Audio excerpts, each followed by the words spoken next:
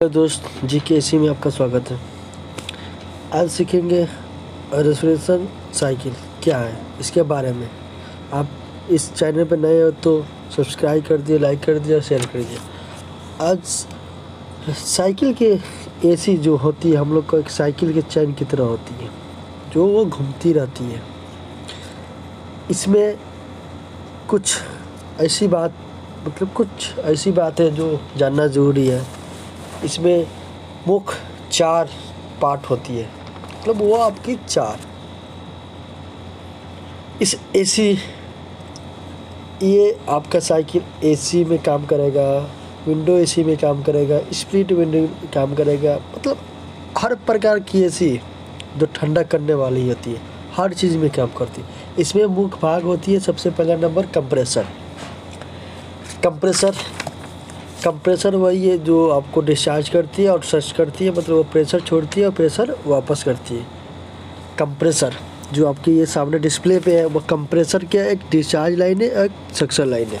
इसमें क्या होती है? कंटेक्ट कनेक्ट होती है आपकी कंडक्शन में होती है और वह अवेपोरेटर में होती है। ये एक दूसरा भाग कंडेंसर कंडेंसर वो एक भाग है जो आपकी वो सिल्क में कॉपर पाइप की तरह होती है उसका हीट नि, निकाला जाता है। बे, वेपर को लिक्विड में चेंज किया जाता है। उसका वह काम है जो फ़ैन के द्वारा और ये कंडेंसर क्या करता है? ये देखिए ये कंडेंसर है जो आपके फ्रिज की तरह होती है इसमें आपकी कॉपर पाइप बुरी हुई है और दो पाइप बनाती है। एक एक सक्शन लाइन कर देगी एक डिस्चार्ज लाइन करेगी। ये स्प्लिट एसी में आपकी बैक पीछे लगता है। विंडो के पीछे लगेगा, फ्रिज के पीछे लगेगा। ये आपकी जो फ़ैन है ना, फ़ैन से ही निकले। और तीसरा है, तीसरा आपकी जो कैपलरी ट्यूब बोल सकते हैं या एफेक्शन वाल्व बोलते हैं। एफेक्शन वाल्व, वो क्या करती है उसको? वो आपकी टानती है। ये छोटी होती है यहाँ पे ये आपकी दिख रही है। ये आपकी ये सामने दिख रही है। ये आपकी एक वाल लगती है, जो उसमें टिप्रोडी क्यूब भी लगता लगता है। ये क्या करती है ये कंडेंसर कंडेंसर से लेती है एवापोरेटर में वो भेजती है। इसमें ट्यूब कैपेटरी ट्यूब लगती है? वो बहुत पतली होती है। ज़ीरो पॉइंट पॉइंट छब्बीस, पच्चीस, अड़तालीस की होती है। वो बहुत पतली होती है और क्या वो चिल्ड कर देती है और एवापोरेटर में छोड़ती है। अब चौथी भाग क्या है? एवापोरेटर। इवेपोरेटर वो भाग है जो इंडोर में होती है, स्प्लिट की अंदर होती है, फ्रिज की अंदर होती है, इंडोर की अंदर होगी, हर चीज़ घर घर ही में होती है। वो फ्रिज के अंदर होगी, जो पूरा ये दिख रही है, ये पूरा एवेपोरेटर है और इसका बैक साइड है, वो आपकी विंडो की, ये सामने वाली एवेपोरेटर है।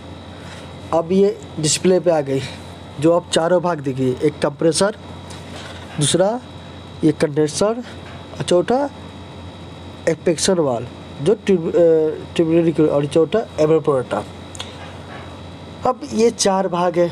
अब इसको बारे में चारों का हम चारों प्रकार का वीडियो बनाएँगे। और एक साइड, देखिए, ये दो भाग में बन गए। एक क्या होती है? हाई साइड में। इस साइड ये हाई साइड, और ये साइड लो साइड क्या होती है? ये जितना है ना, आपकी लो साइड होगी। मतलब क्या, प्रेशर लो होगी और इसका हाई होगी इसका 40 एफ़ होगा और इसका प्रेशर होगा 120 और इस वाले को 120 एफ़ होगा और इसका प्रेशर होगा 420 19 मैक्सिमम मतलब हाई प्रेशर इसका प्रेशर अधिक होगा। क्या करेगा? अब कंप्रेसर चलेगा।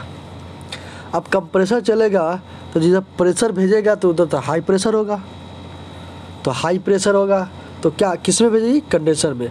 अब जैसे इधर टानेगा तो प्रेशर कम होगा। इसका, ये जब कंप्रेसर चलती है तो इसका प्रेशर भेजेगा तो लाजिम है वो अधिक होगी और टानेगी तो कम होगी। और ये पूरा चारों तरफ़, ये लिक्विड लिक्विड घूमती रहती है। मतलब इसमें गैस घूमता है, जो गैस होता है, जो चारों तरफ़ घूमेगी। ये जो इसमें गैस भर गई, जैसे कंप्रेसर में। अब कंप्रेसर चला, अब हाई प्रेशर दिया। अब ये क्या करेगा? हाई प्रेशर में जाएगा, पूरा तेज़ी गर्म देगा। प्रेशर पूरा हाई यहाँ तक पूरा हाई गई, और इसके पीछे फ़ैन लगा है ये ये पूरा वेपर है, पूरा हाई जाएगी। और इसके पीछे कंडेंसर के पीछे फ़ैन लगेगा। वो चलेगा चलेगा। अब भाई अब फ़ैन चलेगा। अब किसी गर्म हवा किसी की लोहे गर्म आगे रख कर और पीछे फ़ैन चलेगी तो क्या होगा? वो ठंडा होगा। अब यहाँ तक गर्म गई। अब वो फ़ैन पीछे चल रही है। मतलब वो आपका कंटिन्यू फ़ैन चलती रही। तो वो ठंडा होगी और वो पाइप ठंडी होगी तो लाजी में गैस भी ठंडा होगा। तो वो आपकी ये गैस है, ये यहाँ है ना, यहाँ तक गर्म रहेगी पूरा। और ये घूम के घूम के और यहाँ जैसे ऊपर जाएगी, ये ठंडी ठंडी होने लगेगी। अब यहाँ तक आ जाएगी तो उतना भी ठंडी नहीं होगी। जितना होने चाहिए। और यहाँ ये जो वाल है, ये क्या करेगी? इसको रिसीव करेगी, इस गैस को। और ये ये पतली होगी और ये जैसे एंट्री करेगा। और ये पूरा इसमें, इस यहाँ तक आ जाएगी। और ये देखिए, अब ये तो कैपेसिटिव है, पतली होती है। यहाँ पे अब क्या, अब मोटी पाइप है, पतली पाइप है तो क्या स्लो लेगी। अब धीरे धीरे धीरे धीरे धीरे अब एवापोरेटर में आ रही है। एवापोरेटर में आएगी धीरे धीरे यहाँ तक आएगी यहाँ तक पूरा वो ठंडा होने लगेगी। और वो क्या पतली में आएगी अब मान लीजिए अब पानी रखेंगे किसी में अब वो सीरीज़ से लिए वो तो जैसे टानेंगे वो पतला होगा पतला होगा तो ठंडा होगा ठंडा होगा तो लाजिम अब यहाँ भी, भी फ़ैन लगेगा। अब क्या करेगा यहाँ तक यहाँ तक पाइप ठंडा हो गया और ये चलेगा तो आपका ये रूम ठंडा होने लगा। अब यही घूम घूम के ये, जैसे ठंडा होगा, अब अब ठंडा होगा तो अब वाले ठंडा चीज़ को हम फ़ैन से करेंगे तो क्या, गर्म तो होगी। और यही घूम कर, ये इसमें गर्म होकर कंप्रेसर में घुस जाती है।